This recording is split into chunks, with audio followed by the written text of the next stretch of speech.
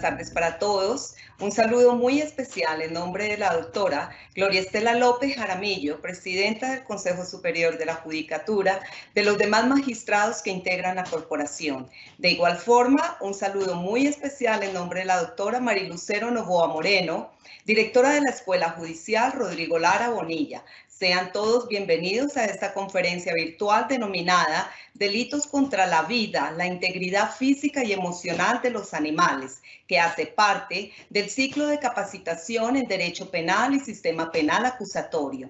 El hombre moderno ha desarrollado en las últimas décadas una serie de conductas que vienen afectando el entorno natural del planeta, como lo es el calentamiento global, la deforestación la ampliación de las zonas de cultivo y pastoreo, que destruyen el hábitat de muchas especies silvestres y en Colombia especialmente hemos venido dándonos cuenta cómo estos problemas han afectado día a día nuestro, entorno. La conferencia de hoy tiene como propósito abordar el problema que se presenta con el maltrato hacia los animales, la regulación jurídica de estas conductas y las sanciones para, para aquellas personas que incurran precisamente en estos tipos penales. El día de hoy tenemos el gusto de contar con el doctor Manuel López Noriega, abogado de la Universidad Simón Bolívar de Barranquilla, especialista especialista en Derecho Administrativo y en Ciencias Penales y Criminológicas de la Universidad Externado, es fiscal, abogado, asesor y litigante, docente catedrático en el área de Derecho Penal en las universidades Simón Bolívar, Libre, Atlántico en Barranquilla. Actualmente se desempeña como juez 11 penal del circuito de Barranquilla. Doctor Manuel López Noriega, es un gusto tenerlo con nosotros. Bienvenido, tiene el uso de la palabra. Buenas tardes. Un cordial saludo desde Barranquilla y mis agradecimientos a la doctora Mari Lucero Novoa Moreno, directora de la Escuela Judicial Rodrigo Lara Bonilla, y por su intermedio a la doctora Gloria Estela López Aramillo, presidenta del Consejo Superior de la Judicatura, de igual manera a todas las personas presentes en esta conferencia virtual. Tal como se anunció en la presentación, el tema a tratar en la conferencia del día de hoy es los delitos contra los animales, que corresponde al título 11A de nuestro Código Penal Colombiano, Ley 599 del 2000, y que contiene un capítulo único que se denomina Delitos contra la vida, la integridad física y emocional de los animales. Como puede advertirse por contener este título un literal, literal A, título 11, se trata de un título no original de nuestro Código Penal colombiano, lo que significa que posteriormente fue adicionado al texto original y ello se hizo efectivamente a través de la ley 1774 de 2016. Exactamente del 6 de enero de 2016, por medio de la cual el Congreso de la República modificó el Código Civil en su artículo 655, la ley 84 de 1989 y el Código Penal y de Procedimiento Penal. Esta ley 1774 de 2016 obedeció a la necesidad de amparar, de proteger la vida, la integridad física y emocional de los animales a raíz de que en varias jurisprudencias de la Honorable Corte Constitucional se había reconocido la calidad de sujetos de derechos de los animales y que estos no se trataban de cosas, sino de seres sintientes con derechos. Entonces, en este, en ese, en este orden de ideas existen unos fundamentos constitucionales que son los siguientes. En primer lugar, el deber de protección de los recursos naturales surge de los artículos octavo y 95, numeral 8 de la Carta Política, y el deber de comportamiento digno de los seres humanos para con otras especies emana de una interpretación sistemática de los artículos primero, segundo, octavo, 94 de la Constitución en concordancia y armonía con la función ecológica de la propiedad establecida en el artículo 58 de nuestra Carta Política. No obstante los suficientes fundamentos constitucionales, tenemos que remontarnos a la década de los 70, donde se empieza a hablar y surge la discusión en torno a los derechos de los animales, siendo uno de sus precursores Peter Singer, quien escribió la obra Liberación Animal. De allí se empieza a desarrollar concesiones filosóficas o tesis en torno a este tema. Y parte del debate en contra de una teoría o concesión filosófica antropocentrista, es decir, del antropocentrismo filosófica que considera al ser como centro de todas las cosas y el fin absoluto de la creación. Esta concesión negaba como sintientes y por supuesto también negaba o no reconocía a los animales como titulares de derecho. Entonces, esta discusión provocó el surgimiento de lo que se conoce como la visión, la, visión biocentrista o biocentrismo. Una teoría moral surgió para esos años 70, todos merece el respeto moral y además reivindica el valor primordial de la vida, el plan al hombre como eje del universo y lo sitúa en una relación de interdependencia con el resto de las especies y elementos del hábitat. Es decir, ya el ser humano no es el eje o el centro del universo, sino que se ubica en relación de interacción con, las otras especies y los elementos del hábitat, con todos los seres vivos. Esa es, el biocentrismo es lo que se conoce como la corriente animalista. Por supuesto, esta corriente ya reconoce a los animales como titulares de derecho. Posteriormente se evoluciona a un estadio que algunos han denominado poco más extremo, que es el ecocentrismo. Y es una corriente filosófica que da prioridad a la conservación de las especies y de los ecosistemas sobre la conservación de los individuos, incluidos los seres humanos. La Honorable Corte Constitucional ha expresado posiciones afines o acordes con el ecocentrismo, entre otras, en la sentencia C 632 de 2011. Hemos expuesto hasta este momento los fundamentos constitucionales y los fundamentos legales, por supuesto, lo constituye la misma ley 1774 del 6 de enero de 2016, en concordancia y armonía con la ley 84 de 1989, especialmente su artículo 6. Y por el fundamento de los delitos contra los animales,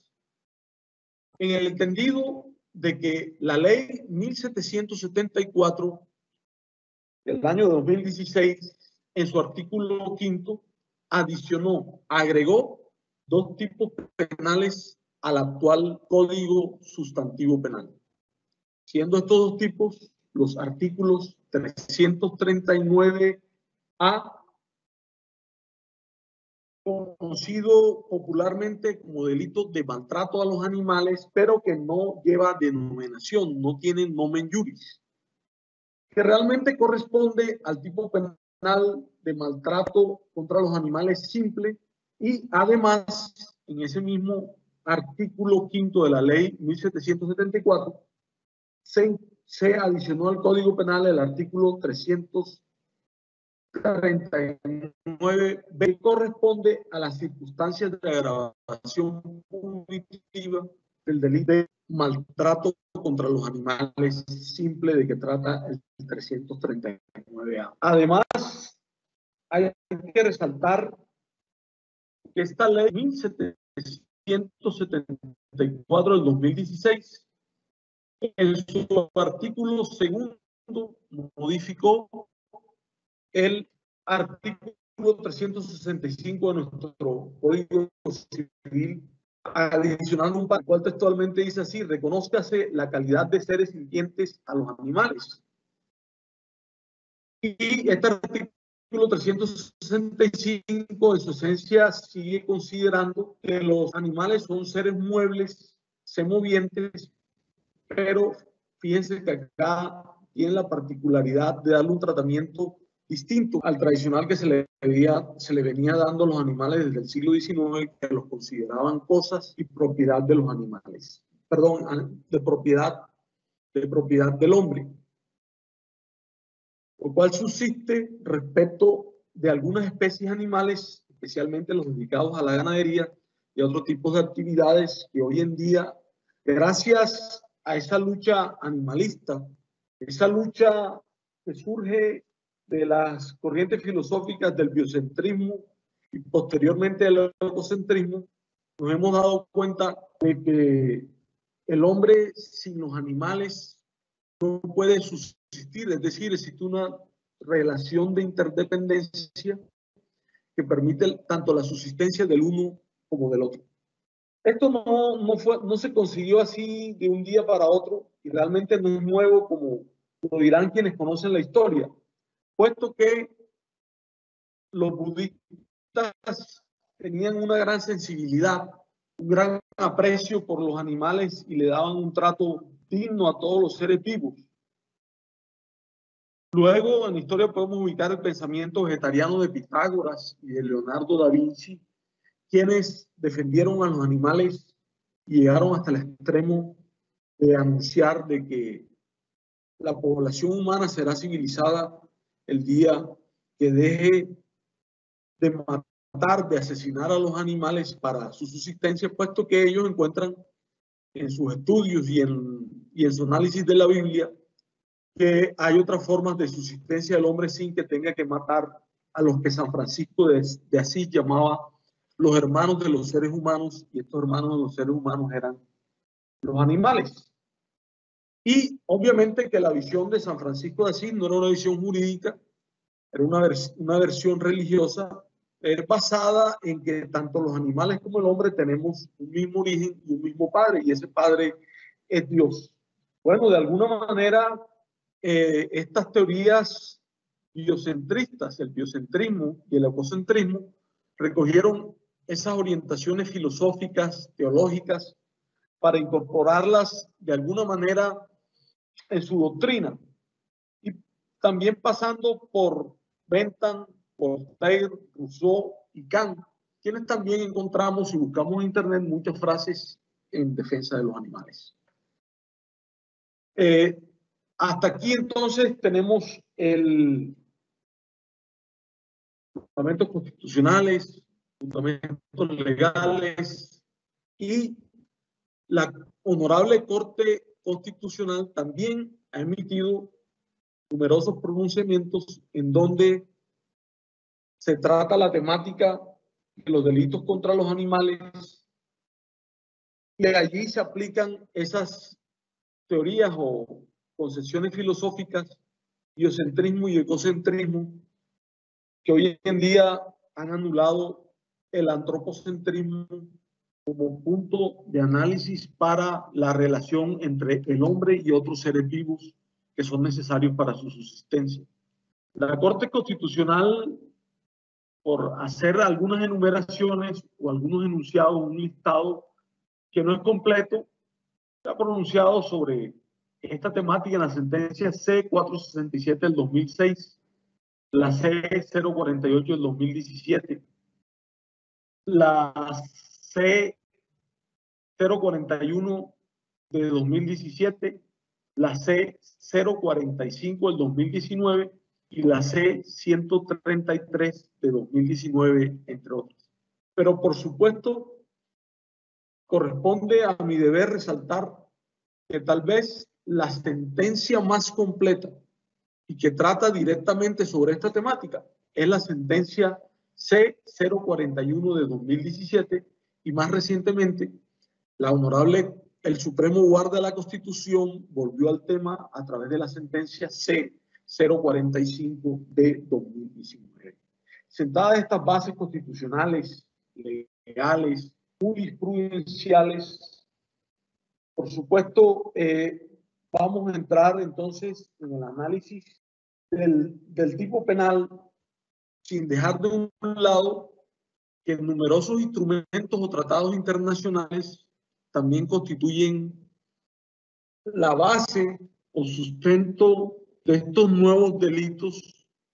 que son ajenos a nuestra tradición jurídica y que en otros países fueron incluidos en su torrente normativo mucho antes que en Colombia. Para citar un ejemplo que siempre ha sido recurrente, citamos el Código Penal Español del año de 1995, que tiene una estructura y un, soporte dogmático eh, que coincide con el nuestro. De hecho, adopta las corrientes dogmáticas eh, finalista y de alguna manera funcionalista de la dogmática penal alemana, abandonando las dogmáticas causalistas. Ciertamente, allí en el Código Penal español, desde el año 95, se encuentra tipificado el delito de maltrato contra los animales. Y apenas en Colombia, como tal, se introducen con la ley 1774 de 2016 y que tiene como antecedente una ley imponía el respeto y el buen trato hacia los animales, prohibiendo los tratos crueles contra los animales, lo cual se hizo anteriormente en Colombia con la ley 84 de 1989, repito, ley 84 de 1989, que aún sigue vigente y que es una ley complementaria de la ley 1774 del 2016, que a través de su artículo quinto, creó dos nuevos tipos penales en nuestro Estatuto Sustantivo Penal, como son los artículos 339A y 339B, siendo este último el que describe las circunstancias de agravación del delito de maltrato contra los animales. Decíamos que esta charla mm, quedaría incompleta si no ponemos de presente que también hay instrumentos internacionales, tratados que tratan sobre temas que tienen que respecto a los cuales se puede hacer algún paralelo con la Declaración Universal de los Derechos Humanos de la ONU del año 1948 y me refiero concretamente a la Declaración de los Derechos de los Animales también de la Organización de las Naciones Unidas. O sea, este tema no es insular, no se trata de una isla, es un tema que eh, inclusive tiene respaldo en este, en este valioso instrumento o tratado internacional que hizo la Declaración Universal de los Derechos de los Animales. En ella, entre otros aspectos, se impuso el respeto hacia los animales por el hombre, bajo el entendido de que está ligado al respeto de los hombres entre ellos mismos y que los animales merecen un trato digno. Reconoce a los animales como verdaderos sujetos de protección titulares de derechos. Entonces, este instrumento internacional también es muy valioso para analizar la dogmática que aplicamos para el estudio y desarrollo de estos tipos penales ya en el plano judicial, que de pronto es la parte que, nos más, que más nos interesa. Entonces, allí la sentencia C041 del 2017 eh, hizo unos importantes análisis sobre la constitucionalidad de esta nueva legislación y fue así, es así como podemos llegar, descender directamente a los artículos 339A y 339 de nuestro Código Penal colombiano para hacer un análisis dogmático del tipo penal. En primer lugar, tendríamos que hablar, por supuesto, de el bien jurídico protegido o tutelado, puesto que no hay claridad sobre el mismo, dado que ha sido objeto de debate, de análisis eh, a nivel académico y en los medios judiciales, puesto que algunos de manera literal dicen que está claro en la medida de que el capítulo único del título 11A se denomina delitos contra la vida, la integridad física y emocional de los animales. Y ciertamente ese es el bien jurídico tutelado de manera principal y prevalente por este título 11A, capítulo único, delitos contra la vida, la integridad física y emocional de los animales. Pero no se limita hasta allí, puesto que se trata de un tipo penal pluriofensivo nosotros entendemos que los tipos penales pluriofensivos son aquellos que protegen diversos bienes jurídicos. En este caso, no podemos deslindarlo de la protección al medio ambiente. Por supuesto, eh, el hombre, ser humano, eh, hace parte de un medio ambiente en una interrelación funcional con otros seres vivos, inclusive a nivel urbano. Hay flora y fauna urbana, lo cual nosotros hemos podido advertir en las grandes ciudades, que hay diferentes clases de aves, palomas, pajaritos. Eh, en algunas ciudades todavía vemos en los parques, inclusive en los árboles ubicados en las áreas públicas y en muchos patios de las ciudades, de las grandes ciudades, iguanas, ardillas, en fin, todo eso hace parte de una fauna que constituye el entorno dentro del cual el ser humano desarrolla su actividad cotidiana. Por ello, entonces, también muchos tratadistas, o algunos tratadistas, para no exagerar, puesto que hay que ser eh, sinceros en el sentido de que no vamos a encontrar mucha doctrina o, una doctrina abundante sobre esta temática, así como tampoco vamos a encontrar eh, jurisprudencia de la Honorable Corte Suprema de Justicia, Sala Penal, en la medida de que solo recientemente, como quiera que se trate de una norma de 2016, hace apenas dos o tres años, se impuso la primera condena por, contra una persona que le disparó a un perro y lo asesinó. Pericidio. Y ciertamente fue objeto de una sentencia condenatoria en primera instancia, fue apelada y hasta el momento yo desconozco si ha existido algún pronunciamiento de la Honorable Corte Suprema sobre este delito de maltrato contra los animales, que repito, es un nombre que se ha popularizado, que se ha hecho como, como quiera, que el tipo penal propiamente dicho, el artículo 339A, eh, no tiene un nomen juris. Entonces, para aterrizar respecto del bien jurídico protegido o tutelado, ciertamente existe uno prevalente o principal, cual es la vida, la integridad física y emocional de los animales. Creo que es comprensible en términos sencillos aquello de la integridad física, porque estaría relacionado con los delitos de lesiones personales en los seres humanos. Es decir, hay muchas similitudes, al igual que la protección a la vida. este tipo penal protege la vida material y física, por supuesto, la vida individual y particular de cada uno de los animales. Pero no podemos pasar por alto, de hecho no puede pasar desapercibido que también contiene la palabra emocional de los animales. Por ello, eh, los tratadistas en la exposición de motivos y en estos instrumentos o tratados internacionales se dice que también los animales, por ser seres sintientes, por ser seres vivos, que que tienen sentimientos, como seguramente los hemos visto en muchos videos, especialmente aquellos que tenemos una empatía y una atracción por los videos animalistas, los videos ecológicos, hemos visto cómo muchas madres de la especie animal son inclusive mejores madres que muchos, que muchos seres humanos. El elefante, por ejemplo, los delfines.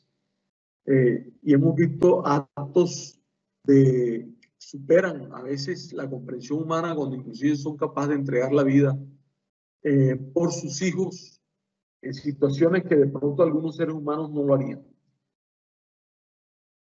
En este, en este orden de ideas, entonces, hay que decir que a los animales también se les, se les protege en ese plano emocional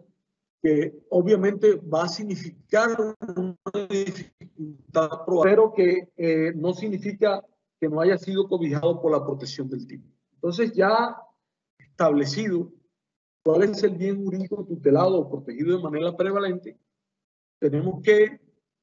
eh, destacar que también hay otro bien jurídico protegido tutelado, pero no de manera principal, sino de manera complementaria, subsidiaria, sectoria e íntimamente relacionada con el, con el primer bien protegido, cuál es el medio ambiente, dada la interrelación del ser humano con los otros seres vivos prescindible para efectos de su, de su subsistencia, de su desarrollo y del progreso de la humanidad. Es que el progreso de la humanidad está marcado siempre por la colaboración, la interacción, queremos decirlo, por la ayuda eh, que los animales siempre han prestado inicialmente en las labores agrícolas, etcétera, etcétera. Y hoy en el plano del sacrificado millones de vidas de otros seres vivos para lograr los avances científicos que hoy crean o han traído el bienestar a toda la población humana y, que se siguen sacrificando y obviamente se van a seguir sacrificando, pero a raíz de toda esta normatividad causándoles el menor sufrimiento, es decir, no someterlos a, a tratos crueles como exigen estas dos leyes que son la columna vertebral de la exposición del día de hoy. Entonces, teniendo que se trata de un tipo pluriofensivo, el artículo 339A de nuestro Código Penal describe un sujeto activo común, también conocido con nombre de sujeto activo indeterminado, no cualificado o no calificado, como quiera que el legislador no exige cualificación alguna para ser autor de este delito. O sea, cualquier persona lo puede cometer. Entonces, cuando el legislador en el artículo 339A eh, emplea la redacción, las, las, siguientes palabras en la redacción del mismo dice, el que está refiriéndose claramente a un sujeto activo, a un sujeto activo indeterminado, no cualificado, por tanto, se trata de un tipo común en oposición a los tipos especiales que requieren o exigen un sujeto calificado, eh, entre otros, por ejemplo, la mayoría de los delitos contra la administración pública. Ya habiendo aterrizado, concretado el sujeto activo, pasemos a la conducta prohibida con ellos los ingredientes normativos del tipo, comenzando por el verbo rector. El verbo rector es, es sin lugar a duda maltratar. Pero antes de ello, no podemos desconocer que en la descripción, en los elementos descriptivos del tipo, este señala que la conducta de maltratar, gobernada por el verbo rector, maltrate, puede ser realizada por cualquier medio o procedimiento, es decir, no exige, no exige eh, alguna manera específica, sino cualquier forma, medio o procedimiento con el cual se maltrate al animal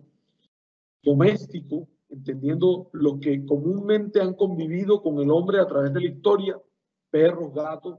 o amansados, que son animales salvajes, pero que han sido sometidos a un entrenamiento de tal manera que obedecen a la persona que los amansa,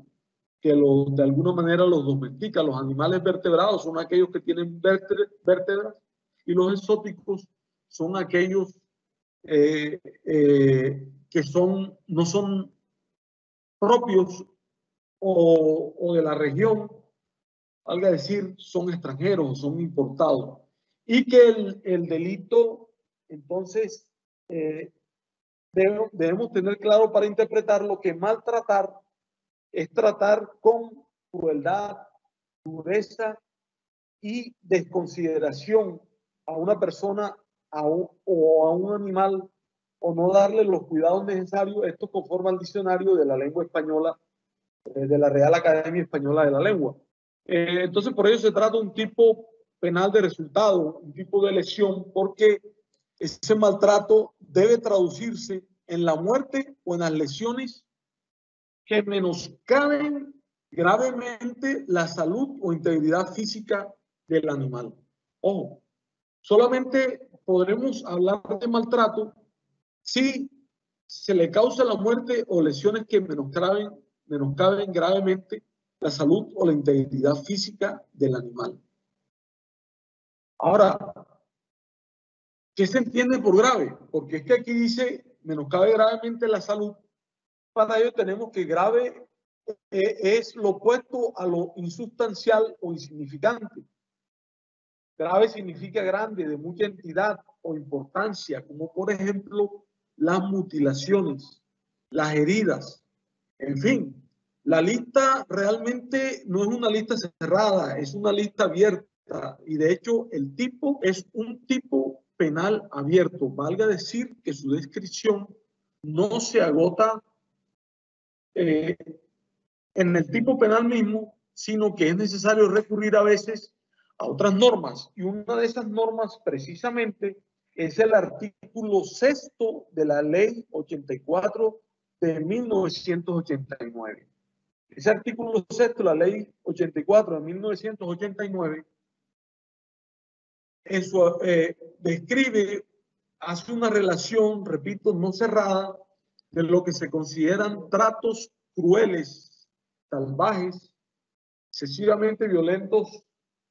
que terminan causándole la muerte o las lesiones que menoscaban gravemente la salud y la integridad física de los animales. Entonces, hecha esas aclaraciones, eh, por lesión se entiende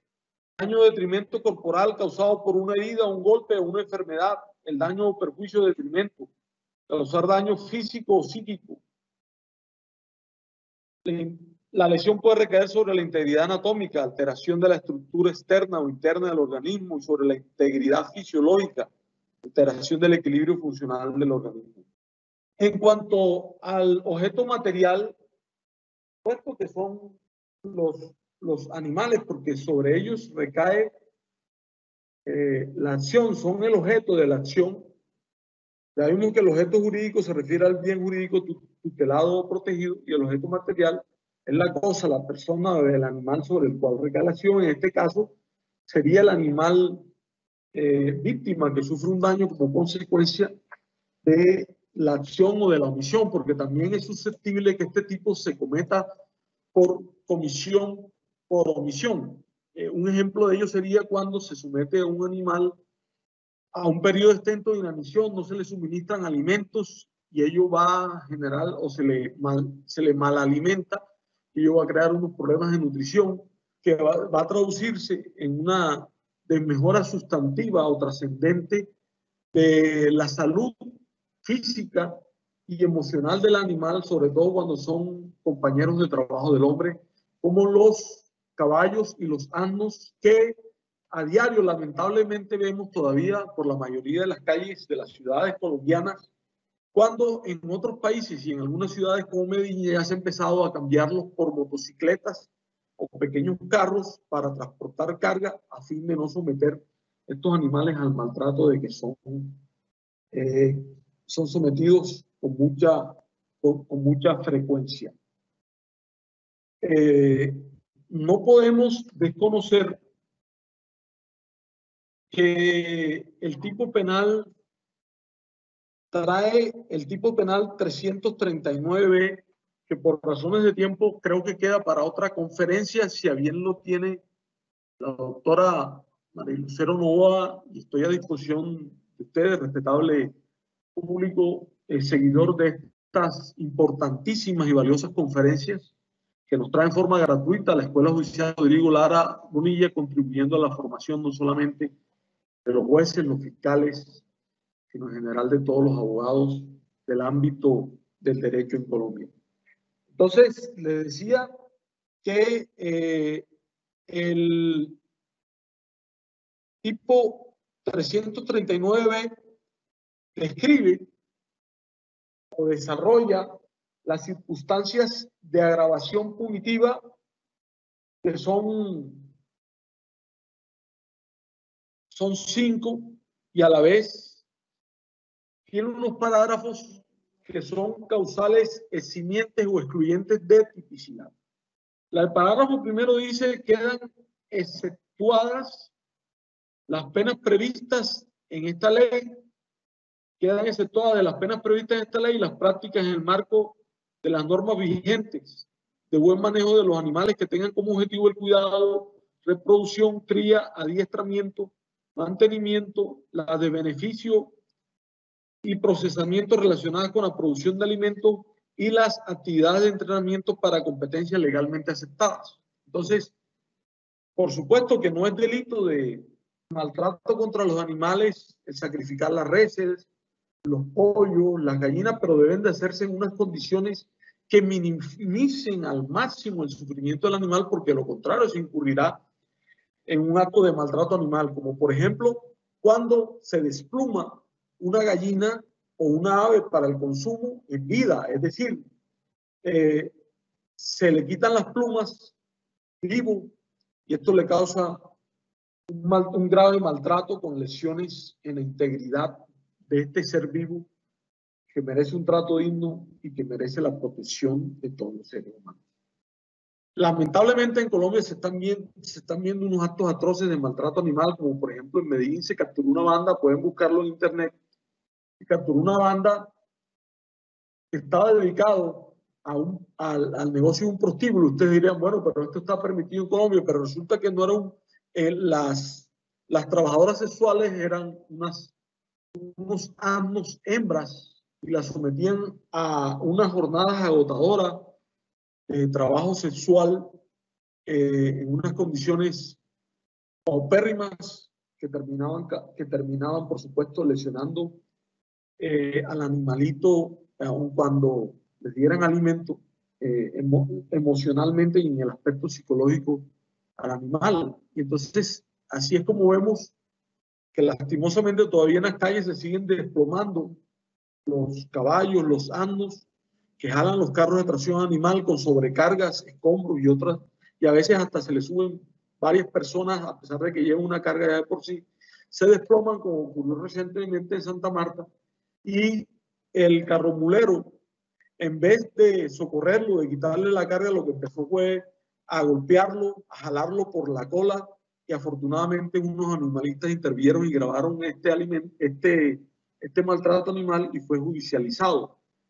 La fiscalía tiene en este momento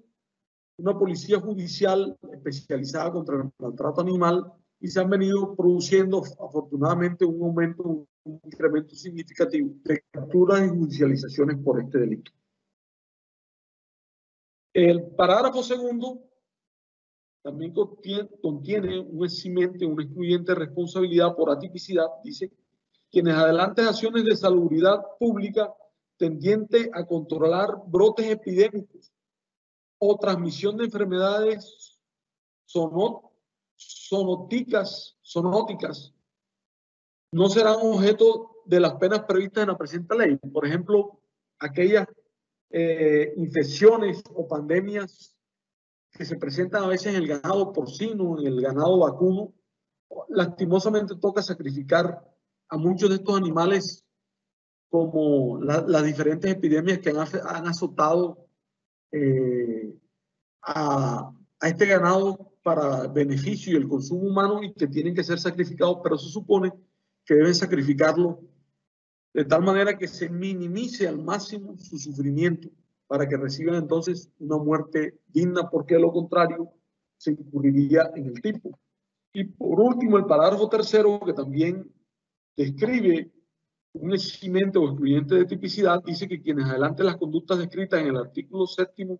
de la ley 84 de 1989 no serán objeto de las penas previstas en la presente ley. ¿A qué se refiere esto? A que las corridas de toro, los rejoneos, el coleo, las corralejas, las peleas de gallos, lamentablemente siguen siendo legales en Colombia muy a pesar que están en contravía de la filosofía eh, ecocentrista eh, que gobierna la visión de estos nuevos delitos, es decir, del el ecocentrismo y el biocentrismo, pues por supuesto, eh, bajo esta óptica serían conductas que claramente provocan maltrato con graves lesiones a los animales especialmente en el salvajismo de las corralejas, donde los garrocheros, que son unas puntas de acero, persiguen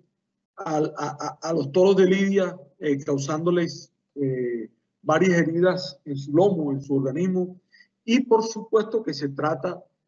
de un sufrimiento innecesario a que son sometidos estos animalitos. Pero como quiera, que siguen amparados por la ley, artículo séptimo de la ley 89 de 1989, y la Corte inicialmente trató de, declarar inconstitucional estas prácticas, finalmente con una sentencia posterior, estas prácticas resucitaron y hoy en día son plenamente legales y por tanto las conductas son atípicas. Esperemos que futuro el legislador le ponga fin a estas prácticas que le causan sufrimientos innecesarios a los animales y los someten a tratos entonces la conclusión es que, o varias serían las conclusiones, pero la principal es que el ser humano, la especie humana, si queremos hablar de que somos una cultura de alta civilización, tenemos que volcar los ojos hacia la protección, al amparo de los animales. Ah, ¿Por qué? Porque los animales hacen parte de nuestro ecosistema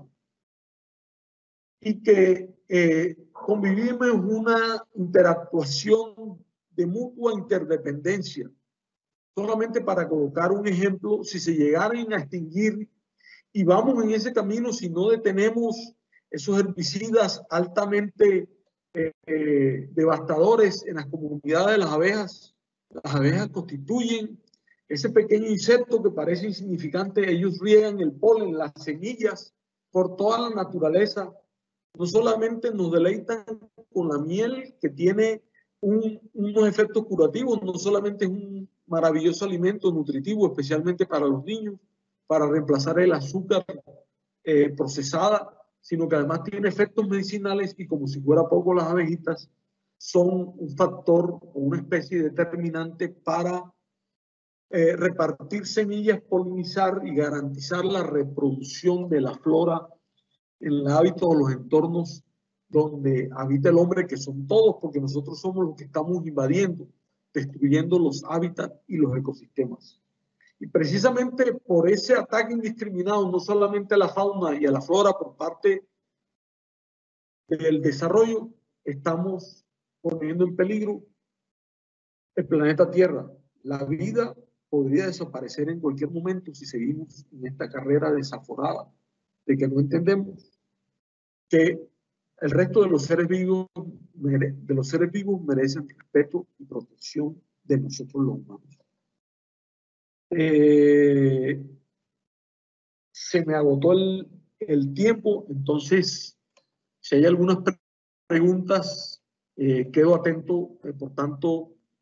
retorno al control a la Escuela Judicial Rodrigo Lara. Muchísimas gracias, doctor. Y vamos al fragmento de las preguntas. deje activada su cámara, doctor, por favor.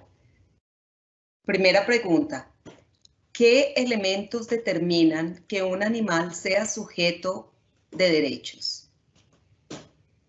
De acuerdo con la reciente línea jurisprudencial de la Honorable Corte Constitucional, de las cuales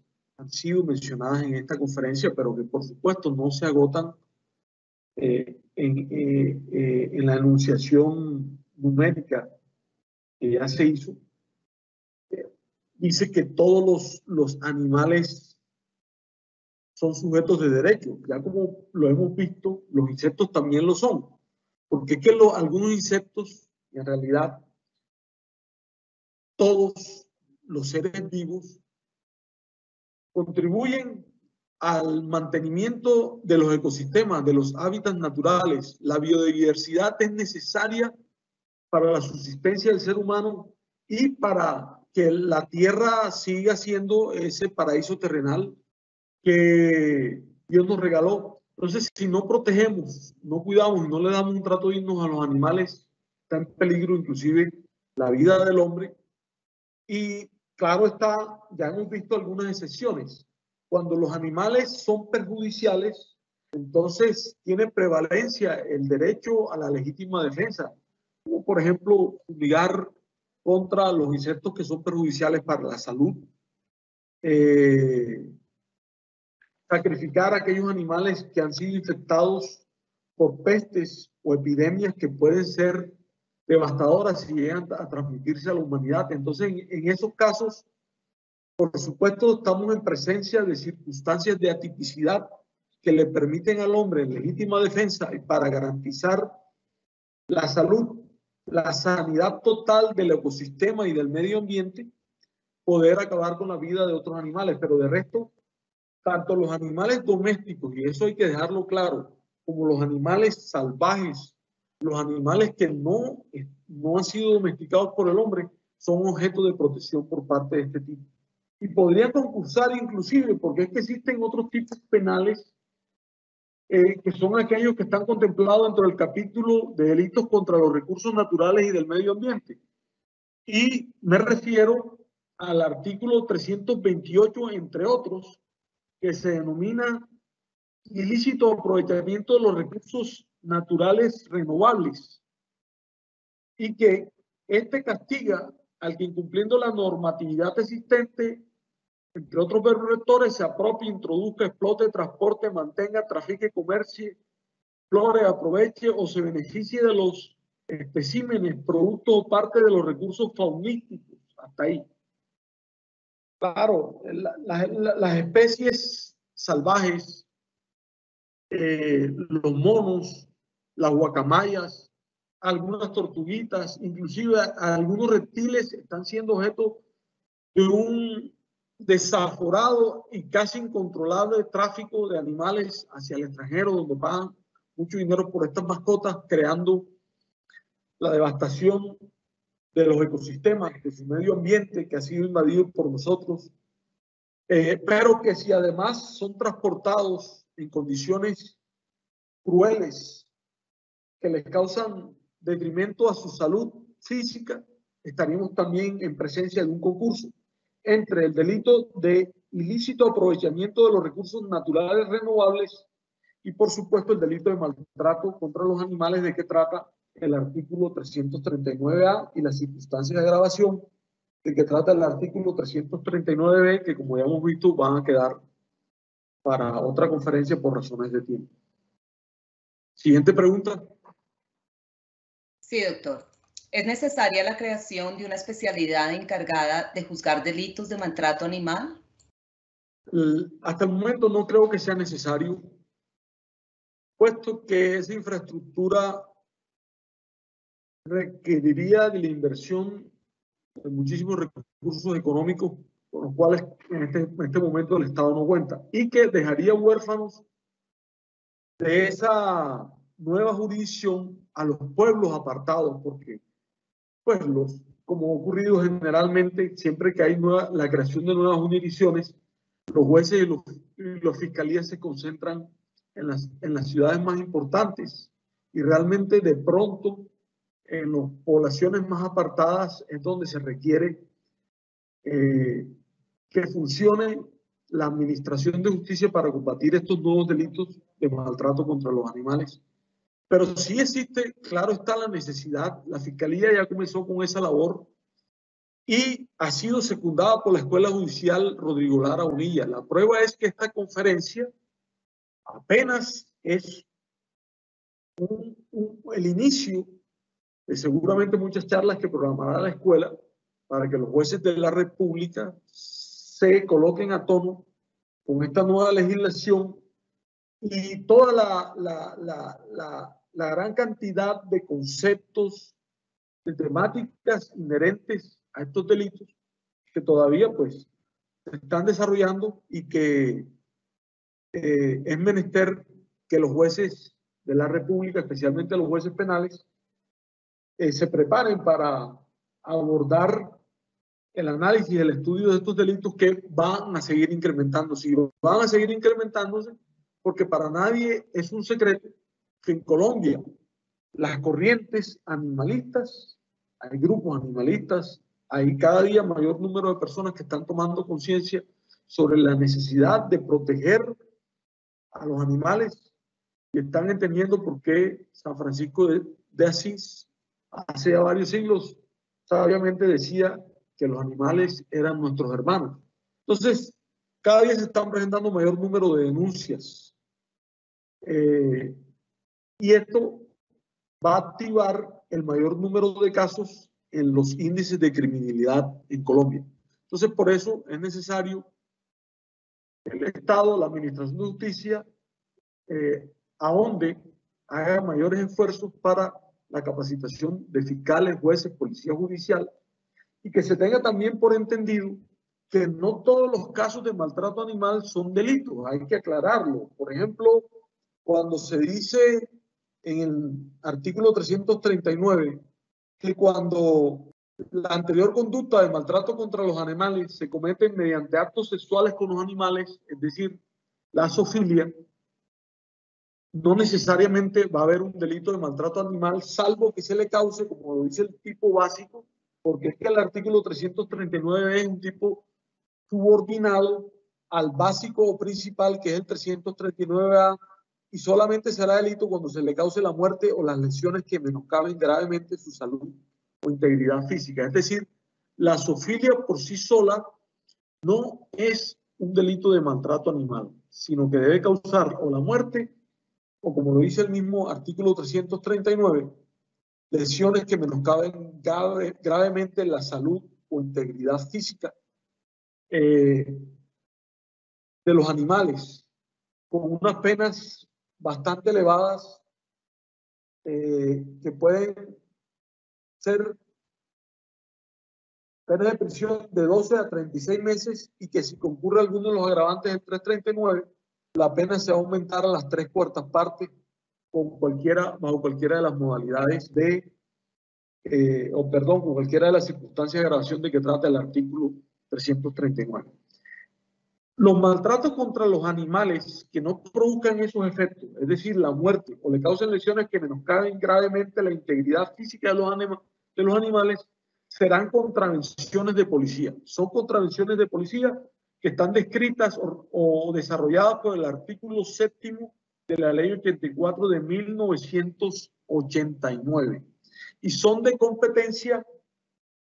de los señores alcaldes y de los señores inspectores de policía. Y se me pasaba muy importante eh, decir que actualmente por virtud de la ley 1774, artículo sexto de esta ley, que adicionó un numeral séptimo al artículo 37 de nuestro Código Penal, atribuyó la competencia, el conocimiento de estos delitos a los jueces penales municipales. Luego entonces, el juzgamiento de los delitos por maltrato contra los animales le corresponde a los jueces delegados y la investigación e instrucción, por supuesto, a los fiscales delegados antes los jueces penales municipales con función de conocimiento. Eso era muy importante aclararlo, creo que eso también, pues, gracias a esta pregunta, doctora, ha quedado claro, le corresponde a los jueces penales municipales el juzgamiento por el delito de maltrato contra los animales. Siguiente pregunta. Siguiente pregunta, doctor. ¿Es suficiente y adecuada la normatividad existente para proteger a nuestros animales? No muy bien se ha desarrollado esta temática. Como lo habíamos, no hay o hay muy poca jurisprudencia y muy poca doctrina. Ya en algunos sectores, de pronto con una orientación populista, siguen pidiendo que se incrementen estas penas. Pero yo creo que la solución no es, no es punitiva, la solución principal es educativa y cultural. Es decir, aquí debería trabajar mancomunadamente con la Administración de Justicia, el Ministerio de Educación, para incluir estas temáticas en, en el pensum, en los programas educativos, tanto de primaria, bachillerato, y por qué no algunas electivas de la, de la universidad, para que se siga desarrollando una cultura de protección y amparo a los animales y que tomemos conciencia que son animales o seres sintientes, que son sujetos de derecho y que no son cosas, que por lo tanto no los podemos cosificar y cuando los empleamos para beneficio del hombre deben recibir un trato digno y tienen derechos similares a los nosotros, como por ejemplo los carros de tracción, los animales eh, que jalan los carros de tracción animal los burros, asnos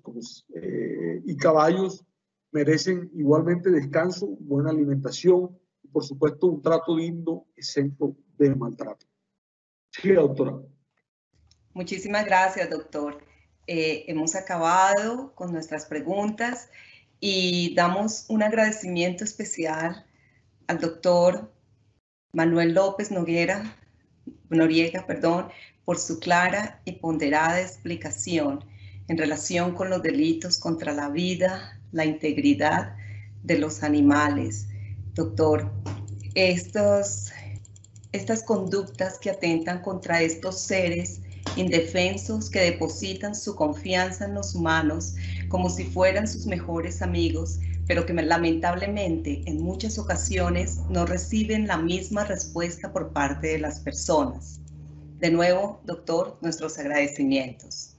De igual forma, agradecimiento a los servidores y servidoras judiciales y a todas las personas que actúan en el sector justicia que se han conectado a esta conferencia virtual. Muchísimas gracias y una feliz tarde para todos.